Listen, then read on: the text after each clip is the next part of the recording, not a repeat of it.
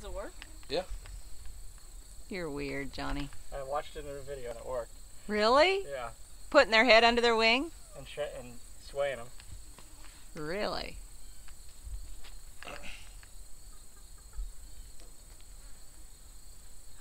Look at that. This is how you hypnotize a chicken, Johnny tells me. It I've, worked. n- I've never seen that before. You probably just made her dizzy. Probably. I don't know. It did Look at work. that. She won't move. Oh my goodness. Can you believe it? She's probably traumatized. How long do they stay like that? Forever. You killed my chicken, Are you Johnny.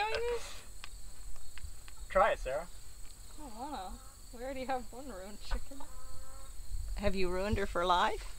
No, she'll get up. Maybe. Try it. How'd you get her head under her wing? Do you bugger. use the other wing? Because that one's shortened. It's gonna be harder.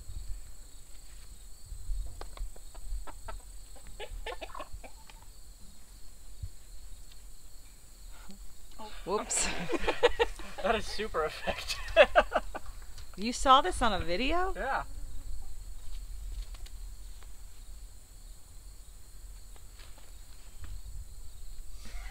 be easy, be gentle. There you go. Oh, the joys of the farm. Our college kids are home and There you go. experimenting Like with our baby. chickens. Mind you, no chicken has been injured in the making of this video. So We just put them to sleep. That's. Rock-a-bye That's slow. chickie in the I'm gonna treetop. stop now. There, look.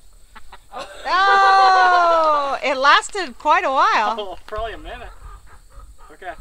Okay. Now good. she's going back to tell the, the hens what happened to her. Wow, Sarah, you did a bad job.